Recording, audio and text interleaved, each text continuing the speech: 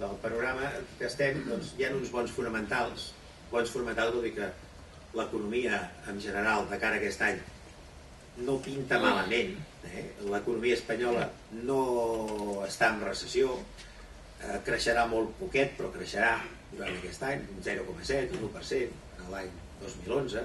L'economia mundial creixerà substancialment, el sector exportador té un bon any al davant, ha de, el, i el sector que no exportava, si encara pot consolidar posicions d'exportació, doncs és, eh, és important. Hi ha uns bons fonamentals, per tant, en el que és l'economia productiva.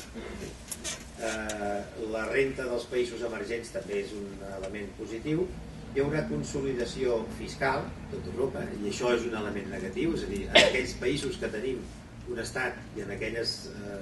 eh, o sigui, tot aquell que té un problema acumulat del passat i que d'alguna manera ha de posar en ajust això, sigui un país o sigui un banc o sigui una entitat financera, doncs hi haurà un procés de consolidació per posar en ordre els comptes d'aquestes entitats i seguirà aquest procés de consolidació, per tant bancs, caixes i països com Espanya seguirem un procés de consolidació que això vol dir doncs, que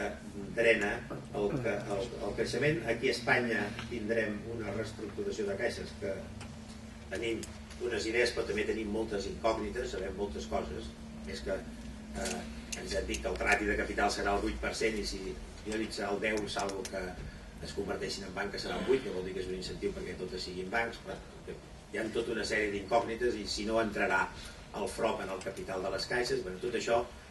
ens ho han dit, però, però jo no deixo de tenir moltes incògnites del, del procediment perquè no entenc les coses fins que no em diuen a quin preu s'entra. I llavors com no ho sé, doncs això no, no ho sé eh, com es farà, però sembla que ja, ja sortirà en algun moment el procés està obert i sortirà la forma en què això es materialitzarà